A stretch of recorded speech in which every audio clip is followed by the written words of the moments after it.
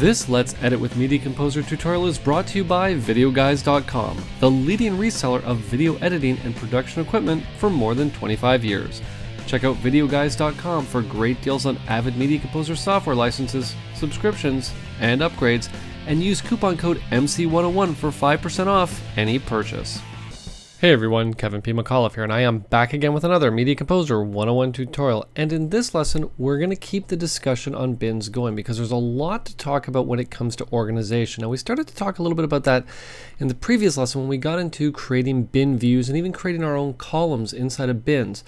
But there's a lot more in-depth stuff that we can do inside of bins to really tailor them to work the way that you are most comfortable working with. Whether you're new to Media Composer or coming from another, you know, nonlinear editing application, possibly like Final Cut Pro 7, Media Composer is really designed to work the way that you want it to work. And in this lesson, I'm going to give you some cool tips and tricks to show you just what I mean by that. Okay, let's keep our introduction short.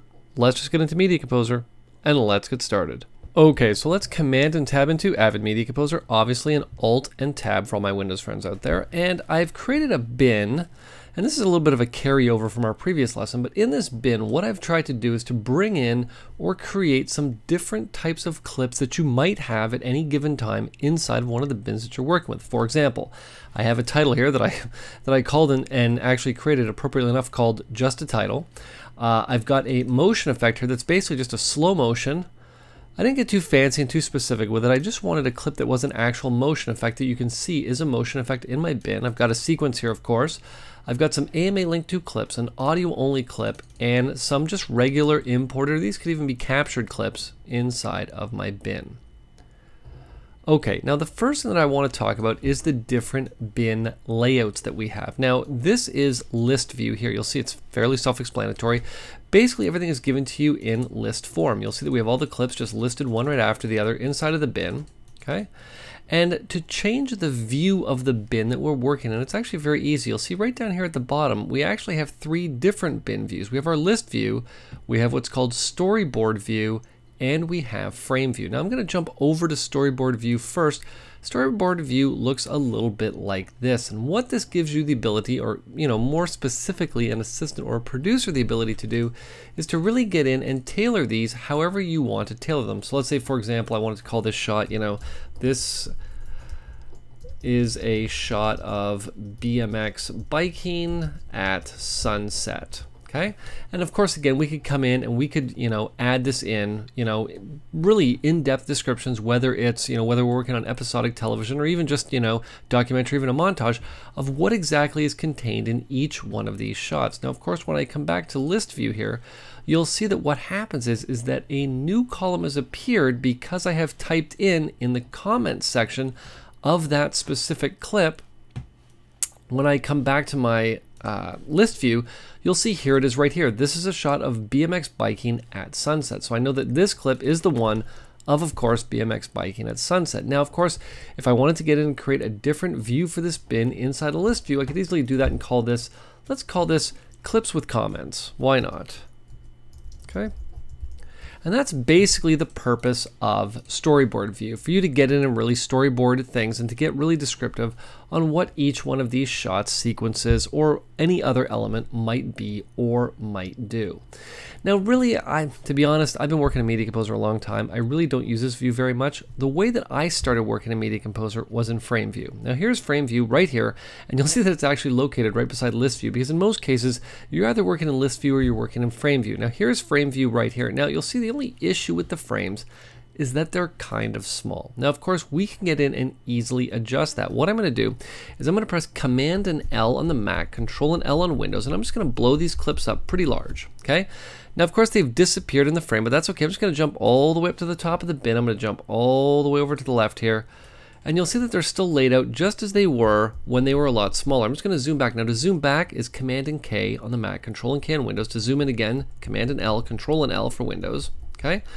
But in most cases, how you work inside a frame view is with the frames at their largest possible size. Now, of course, I've zoomed in. They're laid out pretty much exactly the way that they were when they were small frames, but I really need to get in and have all of these contained within a window. So what I'm going to do is I'm just going to define the bin size, the size that I want, kind of like that.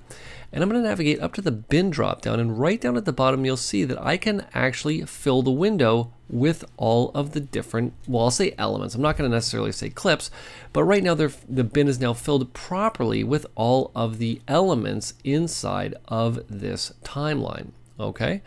Now, what's also very cool about these clips is that if I need to see a preview of any one of them, all I need to do is simply select the one that I want to see a preview of. Even if it's a 4K clip, I can simply select it. Now, this is an AMA Link 2 clip. I'll be curious to see how well it plays back. This was not, not exactly the best example to use. Let me actually pick one that we might actually see a little bit of playback with right here. There we go. You can see now, of course, again, 4K AMA Link 2. The people are playing back, not exactly playing back, you know, in real time. If this was transcoded, it would play back perfectly in real time. But I could pick really any one of these clips that I've transcoded. Let's just pick, um, let's pick this one here. And I'm just going to play this one here. And you'll see that this one plays back in real time, no problem, inside of my bin. Now the purpose of this is of course just for preview mode. Once I've actually chosen the clip that I like, what I would have to do is double click on it and mark the in and out points of the area that I want to select and then edit that into my timeline. Okay.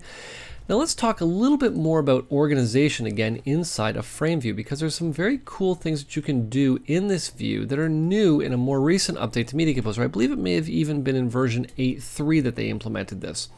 And what I'm going to do is I'm going to head back to my bin settings for just a second. Now actually I think before I do that, what I'm going to do is I'm going to come back to list view. One thing that I love to do in list view is I always have lists or clips with colors because I might like to get in and say, okay, you know, uh, let's just pick some here. I'm just going to select all these clips and I'm just going to select them to none because I think that this clip, this clip, that clip, this one, and well, well, it looks like we're almost picking every other clip here.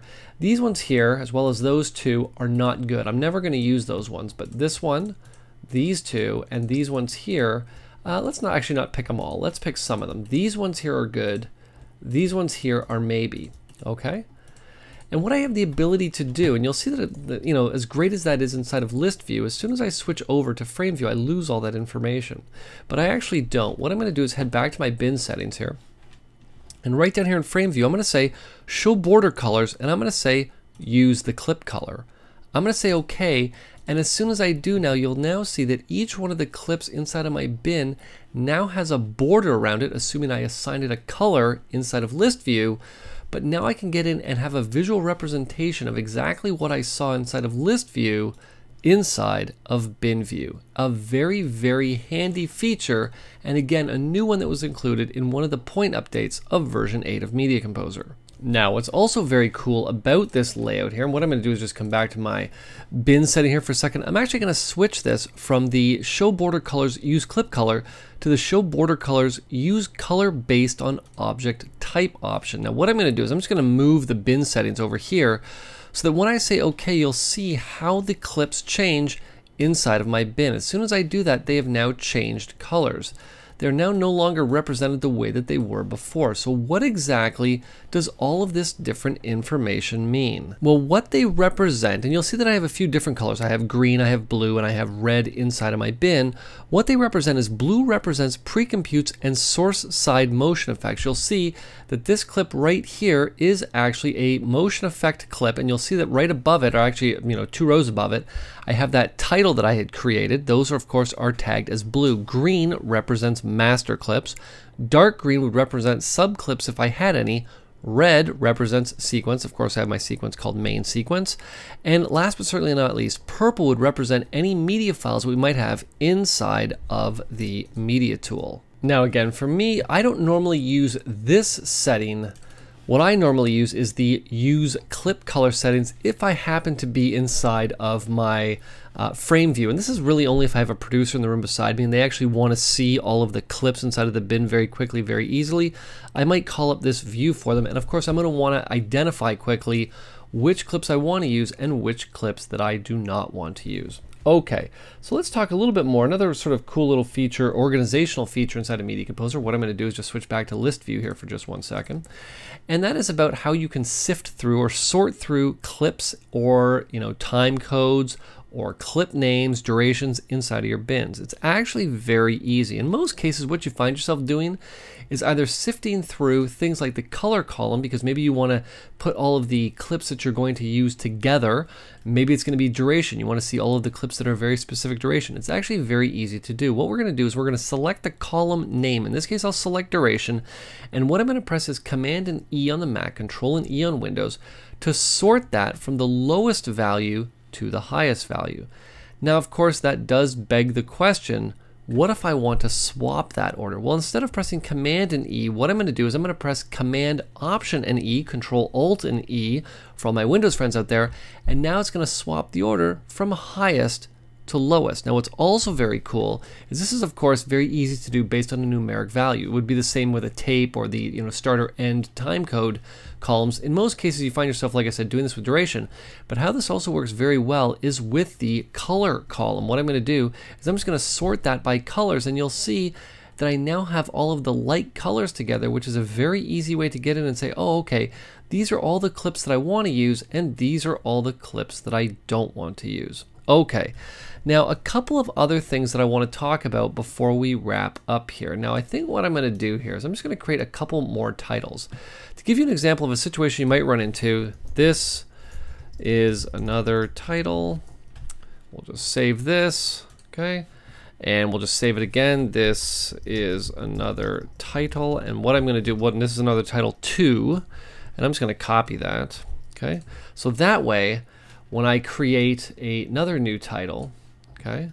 And I'm just going to say title tool. We're going to call this as another title two. There's another title three. We're going to close this up now. Okay, so here's a situation that's very common that you're going to run into in the edit suite. Okay, a lot of people when they work now, you know, organization is key to your workflow, but sometimes, you know, I know it's hard to stay as organized as you might want to be, and you might run into a situation where you have a bin looking like the bin that I have, except you've got like, you know, a hundred times as many clips in here that has titles and subclips and clips and all this type of jazz in the bin and you really don't want to see any of that, but you don't really want to delete it or go through and organize everything. You just want to just hide them for now.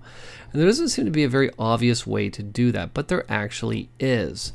What we can do is we can navigate down to the fast menu and what I'm going to do is I'm going to navigate up to my set bin display option inside a set bin display. Now, for example, a great situation like this is let's say you had a timeline where you went through and you re uh, you rebuilt all the titles, and you suddenly then had 200 titles in a bin, and you didn't want to go through and resort them and do all that type of stuff. You just wanted that every time you updated a title and it appears in the bin, you don't see it because it's really too much. Well, what you have the ability to do is to come in here and simply say, well, you know what, Media Composer, don't show me any of the effects clips inside of my bin. Now I could say effects, and let's see, what else do I have in here? Let's just say um, AMA link to master clips. We got anything else in here? I think that's pretty good. Um, you know what? I think I got a motion effect in here. Let's choose motion effects as well.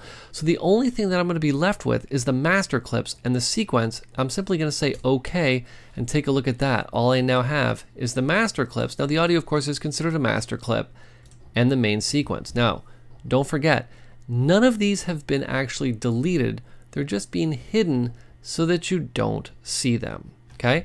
Now, another cool feature right down here at the bottom of the bin is, of course, the ability to come in. And what I'm going to do here is I'm just going to come back to my set bin display. I'm just going to turn back on my effects. I'll turn on my linked master clips and the motion effects here. And what I want to do is I'm just going to come in here and I'm just going to type in title. Okay? And you'll see that as I type in title, what's going to happen is only the clips, or in this case, the effects that are named with title are going to appear in the search dialog box down here located at the bottom of your bin. Okay, last thing that I want to show you in this lesson, okay? And this is a great one. Now what I'm going to do with my main sequence is I'm going to come in and I'm just going to add a few more clips. And let's just make sure that we're not adding the same clip in here. So 944 we've already added. Let's add this one in here. Now, to be honest, there aren't really any good clips or bad clips. I just did that as an example here because all these clips are actually very good. Okay. Now here's a situation that you might run into all of the time. What I'm going to do is I'm going to select everything in my bin except my main sequence and I'm going to delete them. Now I'm not going to delete the media. I'm only going to delete the master clips. I'm going to leave all the media, okay? And I'm going to say okay. Now you'll see that the only thing that I'm left with is the main sequence, okay?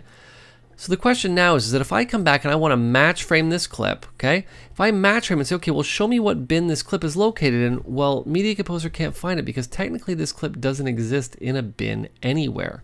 It was last known to be in the green clips bin, but it might have been moved somewhere else. Well, you know what? That clip still exists because it's in my timeline. The only thing is I can't see it in my bin. So how do I get Media Composer to show me clips that are associated with my timeline that may have just accidentally had the master clip deleted for it? Well, it's very simple. What I'm going to do is I'm actually going to head back to set bin display. And inside of set bin display, what I'm going to have Media Composer do is to show me the reference clips or the clips that are referenced by this sequence in my bin. As soon as I do that, you'll see there are the four clips. One, two, three, four. We actually have five clips there, probably because one of these clips has been doubled up here. Yep, 948 has been doubled up. But you'll see now, instead of it giving me that error when I try to find the bin that this clip is located in, it finds it right away. This is a great way if you know you've been given a bin by somebody that has all the media on your system and you've relinked it, the you know media is linked back to that sequence, but you don't have any of the master clips to quickly get access to them so that you can maybe get in and tweak the shot if necessary in your timeline. Okay, so I think that wraps up our look at bins. We've gone really in depth, so you should really have a good understanding of how not only to set bins up to get you organized, but to keep you organized as well. Now, before I wrap up this lesson, I want to thank our sponsor Video Guys, and don't forget to check them out and use coupon code MC101 for 5% off your Avid purchase or any other purchase including G Technology storage, software plugins, and so much more. And if you like this tutorial, please click that subscribe button. And don't forget that if you have any questions, you have any comments, or you have any tutorial requests, you can post them in the comments section below this lesson, or you can send them to Kevin P. McAuliffe at gmail.com. This has been Kevin P. McAuliffe. Thanks a lot for watching.